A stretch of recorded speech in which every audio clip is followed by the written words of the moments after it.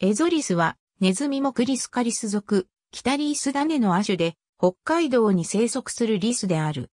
和名、エゾリスの命名者は黒田長霊。種の学名スキウルスブルガリスの意味は、平凡なリスで、スキウルスがリス、ブルガリスが平凡な。1940年代までは、キネズミという俗名で、漁師や山子の間で呼ばれていた。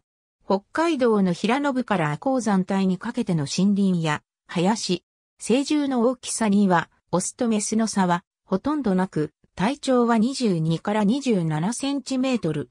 お長は16から20センチメートル。尾の付け根の直径は7から8ミリメートル。中間部では3ミリメートル。尾に生えている毛の長さが5センチメートルほどあるため、外観は太い尾に見える。この尾は樹状を機敏に移動する時の平行を維持する機能を担っている。耳長は2.5から3.5センチメートル。体重は330から470グラム。毛色は1年を通して喉から胸部、腹部にかけては白色で、他の部分は夏毛は茶色で冬毛は茶灰色である。冬毛の時は次回に長さ4から5センチメートルの毛が上に向かって伸びているが、夏毛ではこれがない。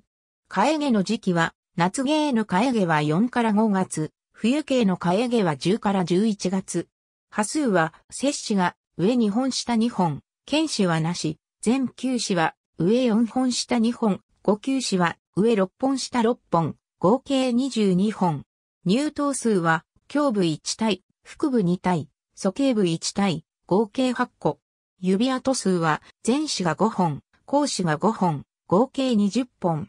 新生子の大きさは、体長は6から8センチメートル、お長は3センチメートル、体重は8から12グラム。目と耳は機能しておらず、体毛はほとんど生えていない。本種は中高生であるが、活動時間帯は季節により違いがあり、春は朝から活動し、夏は日出から日没まで、秋は昼。本種は冬眠せず、真冬でも活動し、その時間帯は主に朝である。これら以外の時間帯にも活動することがある。活動範囲は巣を中心として行うが、ある特定の巣に対する行動はない。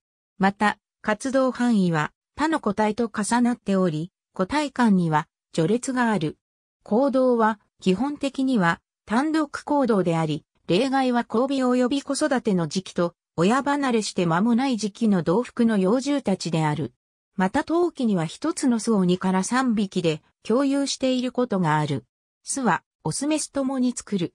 人為的な巣箱を利用することもあるが、それ以外の場合は、軌道を巣として利用するか、本種自身が巣を作る。その場合は樹状に作り、樹幹と枝の股の部分に作ることが多い。巣の大きさは直径20から70センチメートル、高さ10から30センチメートル。巣の外側の素材は小枝で直径1センチメートル、長さ20から50センチメートル程度のものを使用する。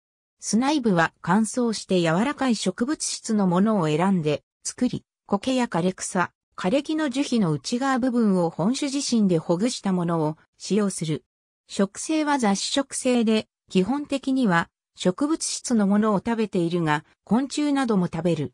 植物では樹木の花や芽、葉、種子、果実、樹液などで、キノコ類では、毒紅竹も食べてしまう。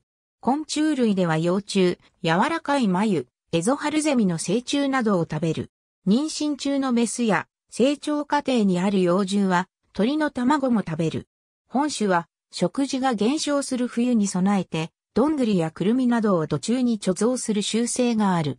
積雪期でも根雪を50から60センチメートルも掘って潜り、貯蔵した食事を探し出すことができる能力を持っている。本種は前肢の指が長いため、物を掴むことができる。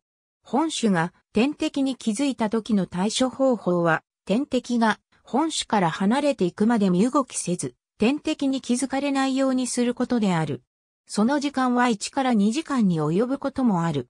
また本種は林があれば公園でも生息することができる環境順能力を備えている。本種の寿命は約2から3年。エゾリスの子供繁殖期は2月下旬から7月下旬で、出産時期は4月上旬から8月、妊娠期間は約40日弱。出産する子リス数は1から7匹で、通常は3から4匹出産し、1個体の出産回数はその年の繁殖期に通常1、2回で1回の場合が多い。子育てはメスだけで行い、コリスは生後約8週目から植物質のものを食べ始め、約10週目に離乳する。生後約11から12週目には親離れし、翌年には繁殖が可能となる。鳴き声は何らかの理由により興奮した時に発し、シュシュ、ジュージュー、グーーなど泣き分けている。エゾリスウェブサイト出版物辞書。ありがとうございます。